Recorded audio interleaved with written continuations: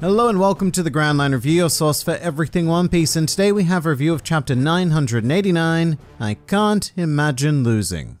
And man, what a chapter. It's so incredibly rare, perhaps even unheard of in Wano, but this was a completely Straw Hat centric installment this week. Each and every one of them got a decent degree of focus, generally working together as well, all of which culminated in quite possibly my favorite panel of the entirety of Wano. And I know that me being me, I've probably said that a fair few times now, quite possibly even the last time the Straw Hats were all gathered like this prior to the beginning of the raid, but this panel is just stunning. I love it. I especially enjoy that Jinbei is so front and center, making what I feel is his proper debut as a Straw Hat. I also really like Luffy doing his classic squat pose, which he tends to invoke to hype himself up. And best of all, the entire crew is framed by the massive body of General Franky. And so, if it wasn't already clear, this panel tells us that this is a true force of individuals to be reckoned with, as a certain Emperor of the Sea went on to find out this week. But we will definitely get to that. But just while I've mentioned Franky specifically, not only was he the undisputed star of chapter 988, I mean, how could we forget the moment where he ran into Big Mom with the subscribe button for the Grand Line Review, thus forcing her to kind of literally smash that button and receive regular One Piece content uploaded straight into her YouTube feed. And my advice to all of you would be to press that button immediately before Franky does the same to you. But Franky's general amazingness only continues into 989, which is nice because Franky to me is, well, he's honestly like a middling Straw Hat. I do enjoy him, I like him quite a bit, but I find that following the Water 7 saga, his chances to shine tend to be quite minimal. In fact, the last time I remember enjoying Franky this much was on Dressrosa during the final chapter of his fight with Senor Pink, and that was probably about five and a half years ago now. So for all of that time, Franky to me has been very much relegated to the background, and I'd kind of forgotten how much I loved him. But 989 immediately brought all of those feelings back, and it happens right from the very first close-up shot of him and Nami in that funky square panel. Franky just looks so ridiculously cool here with Nami swooning all over him, and there's something about his facial expression that really hits me. It's like you can tell exactly what's going on in his mind, and it's something along the lines of, yeah, baby, I know I'm super cool, try not to make a big deal about it, you know? And as if that wasn't enough Franky amazingness, which it wasn't, he's also given a Pirate King moment in this chapter as well, where he proudly declares, as all Straw Hats and others eventually do, that Luffy will become the Pirate King. And I don't know why, but these moments never get old for me, even after having seen one as recently as Momonosuke's. But still, even this late in the series, it's so nice to hear people other than Luffy having that 100% belief in him, even in the face of, say, the strongest hag in the world. And this whole interaction also reminded me a lot of Jinbei's instance on Whole Cake Island, where he said that a man who would be a crewmate of the future Pirate King cannot afford to tremble in the presence of a mere emperor. And that would very much appear to be Franky's sentiment here. He doesn't say it quite like that, but it's very clear through his attitude that he very much actually looks down on Big Mom in comparison to his own captain. And I think that this is also a very big tangible cue amongst others that the time of the emperors is starting to come to a close here. This is the make or break climax of this whole institution, and regardless of the overwhelming challenge that is Kaido up ahead, Oda is showing us here that the relevance and widespread power of the emperors is fading quite rapidly. And I for one cannot wait for the new age to be upon us. But sticking with the topic of emperors for a bit, Big Mom was our main non-straw hat feature this week, and it's hard to know what to say here. If you weren't a fan of how she was handled in the last chapter, then I can't imagine you enjoyed this one too much either. I will say that I found all of her interactions quite enjoyable this week, especially the Jinbei Robin combo attack, because it really does highlight the supreme weakness of Big Mom, which always existed but many have tried to deny, and that is that Big Mom is simply incapable of dealing with well implemented strategy. On her own, Big Mom is quite possibly the strongest human being remaining in this world, but that means her battle tactics are extraordinarily simple and not even really worthy of the word tactics. She basically hits as hard as she can in any given direction because she has whatever passes for God mode in One Piece. And I know that whenever I use the invincibility cheats in various games when I was a young lad, it completely removed any need for strategy and skilled gameplay. You basically just calmly walk about and dispose of the enemies until you very eventually win. That right here is Big Mom, except she's not dealing with AI that was programmed in the 90s. And it's not as if these attacks from the Straw Hats actually hurt her because that still seems nigh on impossible, but with their superior intelligence and relevant power, they can most certainly stall her, which we saw quite a bit of on Whole Cake Island, although it was to a much less successful degree. Which brings up something else that I think this chapter makes very clear. Being that an emperor is significantly less threatening without their crew. On Whole Cake Island, things were extraordinarily problematic because the Sanji retrieval team were wildly outnumbered by the Big Mom pirates, which made Big Mom herself completely impossible to stop. But here on Wano, Big Mom is effectively alone. She has no help from Kaido's crew because they're all terrified of her, and on this occasion, Big Mom is outnumbered by a series of powerful and intelligent individuals, which inevitably leads to her getting clowned around like this. And I think that's incredibly revealing of the facade of an emperor.